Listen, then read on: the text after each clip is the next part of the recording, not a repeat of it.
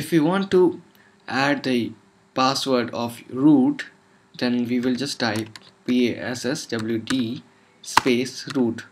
So the common syntax is the general syntax is to type passwd followed by the user's name. And now we will be entering. So it says that you may not view or modify password information for root which is because uh, you don't have the privileges for that all you need to do is just type sudo space passwd space root. Now you need to enter the current password. And then a new password for root.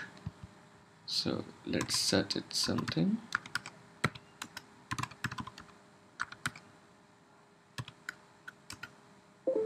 Now we have successfully changed the password of root as well so this is how we change or we add passwords in any Unix or Linux based operating systems. Thank you for watching the video.